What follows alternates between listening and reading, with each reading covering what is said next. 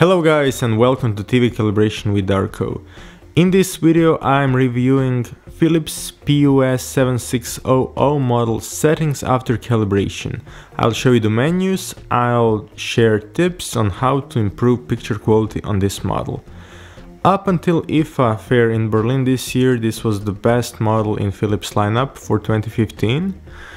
Um, it offers Ambilight, Ultra HD resolution, Philips own processing and Android operating system. However, I was a bit surprised when I placed my meter on this model to find that picture styles are not really precise. Even movie preset, which usually is close to reference values, was really off the chart, especially in terms of white balance, with too much blue in picture, which made everything look a little too cool and not really pleasant to watch. But still, I used movie preset to do complete calibration. So let's see settings. Color, default 50.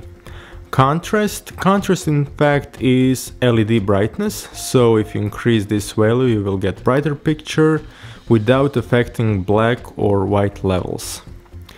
Um, this is Ambilight TV, so um, I recommend that you increase brightness of the TV itself even if you will watch it in pitch black room because Ambilight will make um, this peaks uh, more easy on your eyes.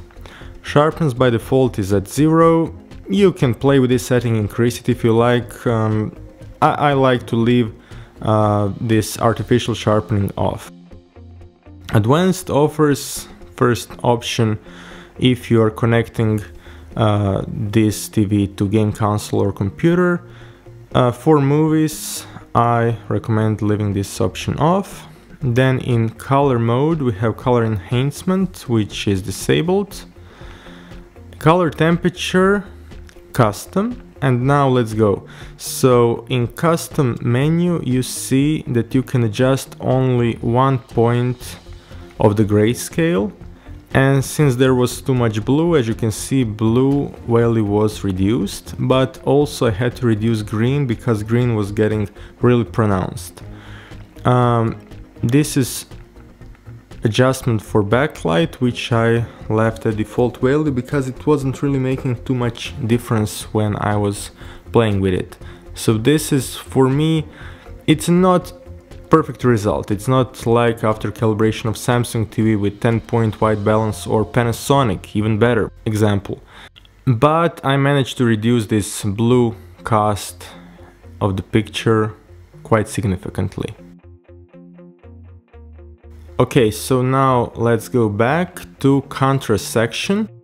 Here you see contrast mode, which is basically local dimming control. You can either turn it off or pick one of these presets. I recommend choosing standard because it will even further improve contrast of the picture. It will make gamma more flat, especially in brighter area. And backlight bleed, which is pronounced on this model, at least on sample which I got, you will also reduce this backlight bleed on the edges. Dynamic contrast, you can guess it's turned off. Brightness, now this is black level. I had to increase it a little bit to reveal darkest details of the picture. Video contrast, this is actually white level. I picked it at 95 also to get more flat gamma.